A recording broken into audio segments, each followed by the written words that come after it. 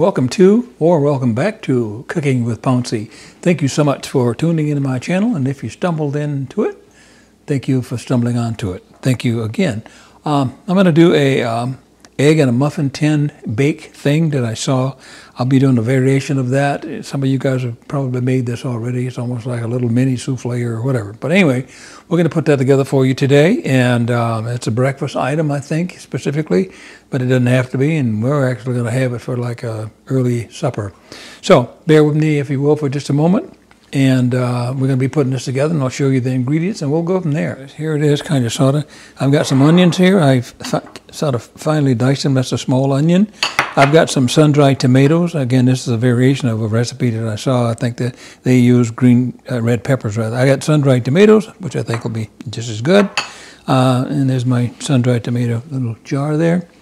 Um, I've got uh, some cheese that I'm going to put in here as well. I got a combination pepper jack and cheddar, I think it is, here. It, you can use the cheese of your choice as well.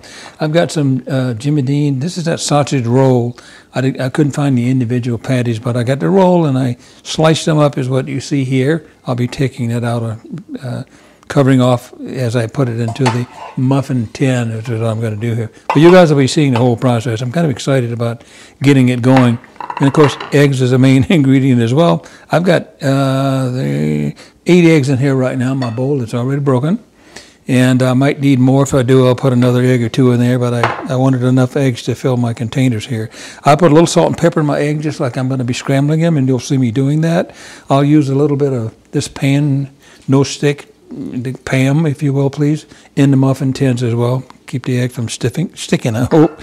I'll be putting a few chives in there as well for color and a little bit of flavor as well along with that. So I think I'm going to stop rambling now and we're going to start putting this together. All right, guys, here we go. So I got all my wrapping off on my sausage here. And what I'm going to do, obviously, is I'm going to line each one of these little muffin things here with my sausage. So he'll go in each one of them will go in one here. And I'm going to kind of pat it down. You'll see me do that in just a second here as well. But again, this recipe looked pretty interesting to me. And I hope my, my little muffin cups are deep enough here, but we'll see what happens, guys.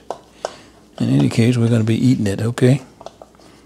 And I don't. I have more little cup holes than I do sausage, but that's okay. That's okay as well. All right, we're done with that part of it.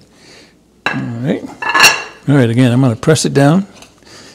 And I'm not trying to get air out of it. I'm just trying to press it down, compact a little bit, so I can get my egg and the rest of my stuff in here. All right. You guys know cooking with pounds. I like to be messing around with experimenting stuff, and you guys should do that too. It's fun. And the kids could help you with this too, guys. This is kind of cool. All right, do you see that part of it? All right, I'm going to take my egg mixture here, guys, and I think I'm going to season it. I think I told you that, so I'm going to do that. a little black pepper. Just like you're going to make scrambled eggs, and I do season my, season my eggs before I I uh, and not too much salt, guys. That sausage got salt in it too. Okay, so once you soda in. Now I'm gonna mix this up. That's what I'll do here. Just like I'm gonna scramble them.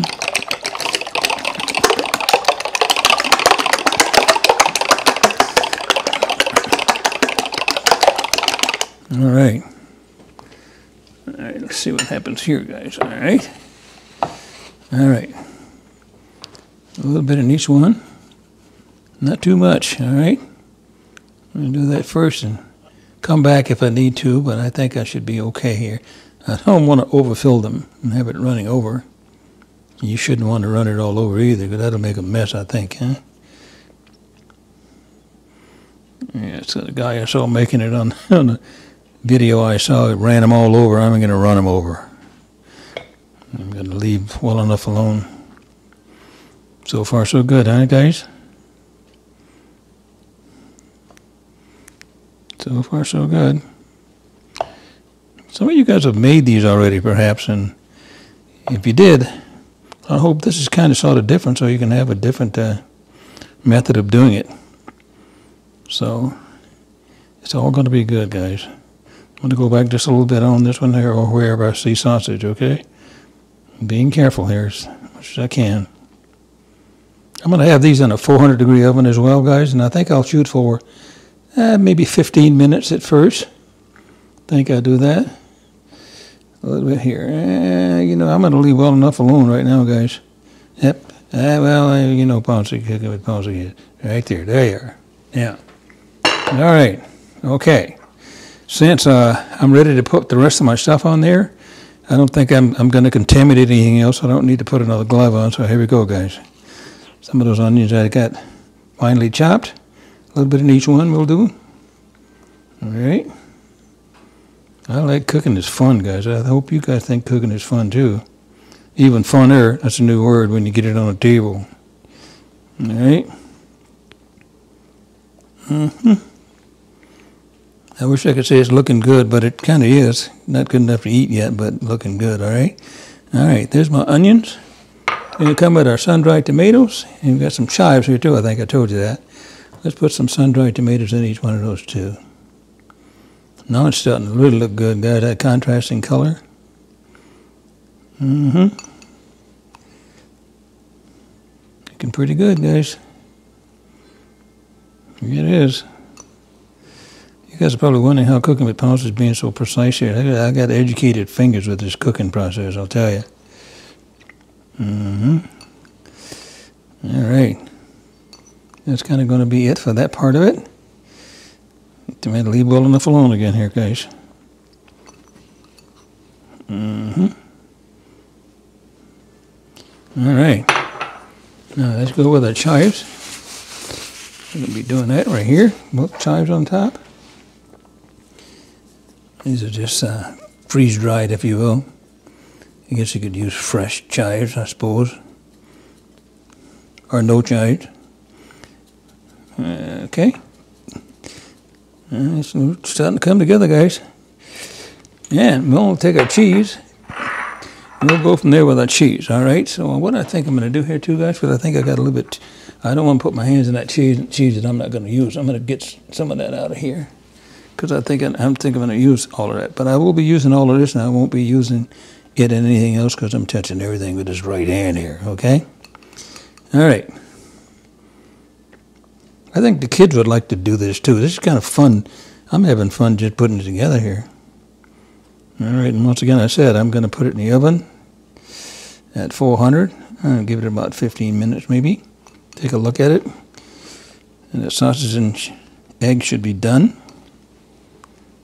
And see where we go from there, guys. Maybe having a maybe a croissant on the uh, side of this thing on a plate. Maybe we'll see. We'll see. Maybe some fresh fruit, some strawberries, some blackberries, some blueberries. It's looking good, guys. All right. There you go. I think I've got all my stuff on there now, guys. We're ready to put this in the oven at 400 degrees, as I indicated. And I'll be back. Look at, look at how Pouncy Consulting did that. Uh, cooking, cooking with Pouncy, rather, did uh, measure his cheese. That's, that's good, isn't it? All right. You'll be seeing this again in a little bit. I'm going to put it in the oven.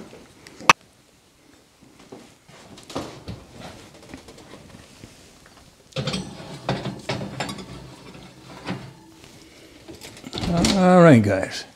Got my timer already here. I think I got my timer set for actually 19 minutes. I'm going to be looking at it in about 15. So I'll see you in about 15 minutes. It's been 15 minutes actually, and I think these are ready. I just temped them, and I tempted them at about 170. Oh, they're beautiful. They are absolutely beautiful. All right. They look nicer than the ones I saw when I got the idea for the recipe. All right, this is very hot, guys, so that's why I'm acting silly here. That's what they look like, all right, as they come out of the oven here. Wow, they look good. They smell good too, guys. I'm anxious to get them all plated up, and then we'll do a plate presentation for you. And so I'll be right back. And again, that was 15 minutes at 400 degrees. Uh, I think they're perfect. Okay, right, guys. Plates are a little bit warm here. I stuck them in the oven, get some of that residual heat to heat the plates but it looks really, really good. I got some uh, grapes and strawberries on here. You can certainly do fruit or no fruit on yours if you'd like. And the other one looks about the same as well, guys. Very nice presentation. So, guys, thank you once again for tuning into my channel. And if you stumble there, stumble back if you would, please. I'd certainly like that. Give me a thumbs up if you would, please.